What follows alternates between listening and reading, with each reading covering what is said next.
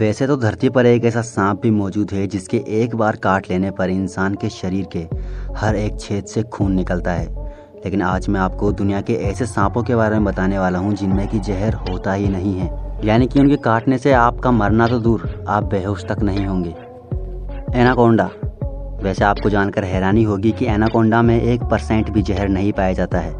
Anaconda सांपों को दुनिया में सबसे बड़ा माना जाता है। इनकी अधिकतर प्रजाति दक्षिणी अमेरिका में पाई जाती है। इनमें जहर तो नहीं होता, लेकिन ये अपने चंगुल में शिकार को लपेट कर उसे मारने के लिए मशहूर है। ब्लैक रेड स्नैक, बिल्कुल काले रंग वाले सांप को देखकर एक पल को हर किसी की साँसें रुक जाती है। उनका डरना वैसे लाजमी है।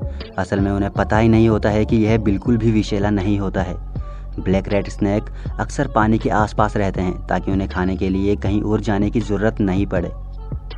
अजगर अजगर के बारे में हर कोई जानता है। यह भले ही कितना भी बड़ा क्यों ना हो, लेकिन इसमें जहर जैसी कोई सी भी चीज़ नहीं होती है। हाँ यह घातक ज़रूर माना जाता है, क्योंकि इसकी पकड़ काफ़ी मज़बूत होती है। इतनी मज़बूत कि एक बार अगर यह अपने शिकार को जकड़ लेता है तो उसका ज़िंदा वापस जाना मुश्किल होता है। मतलब इस अजगर से सावधान रहना ज़रूरी है। मिल्क स्नैक, अमेरिका में रहने वाले यह सांप यहाँ के सबसे प्रसिद्ध पालतू सांपों में से एक हैं। इनके शरीर का चटक रंग कुछ लोगों को काफ़ी पसंद आता है, पर कुछ के लिए यह बहुत डरावना भी होता है। यह दिखने में भले ही कितना भी अजीब गरीब लगे, लेकिन इससे किसी को कुछ भी खतरा नहीं है। गार्टर स्नैक, उत्तरी अमेरिका में पाए जाने वाले सबसे आम सांपों में से एक है गार्टर स्नैक। इसकी लंबाई 23 से 30 इंच तक होती है।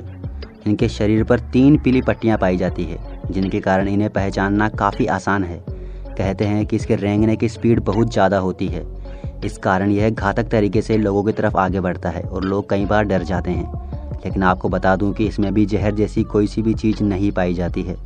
फोर लाइन रेड स्नैक पीले भूरे रंग का खतरनाक सा दिखने वाला यह सांप जापान में पाया जाता है। इसकी एक बिल्कुल अलग ही पहचान है कि इनके शरीर पर चार पट्टियाँ बनी होती है।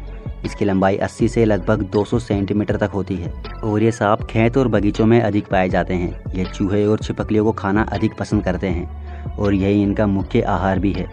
फोर लाइन स्नैक यूँ तो काफ़ी जानलेवा दिखाई देता है, लेकिन इसके अंदर जहर की एक बूंद भी नहीं होती है। नार्टन वाटर स्नैक, अमेरिका और कनाडा में पाए जाने वाला यह सांप बिल्कुल भी जहरीला नहीं होता है। यह नदियों, तालाबों और दलदलों और झीलों में रहता है। इसका शिकार स्थानीय लोगों के बीच काफ़ी प्रसिद्ध है। यही कारण है कि दिन ब दिन इसकी संख्या काफ़ी कम होती जा रही है।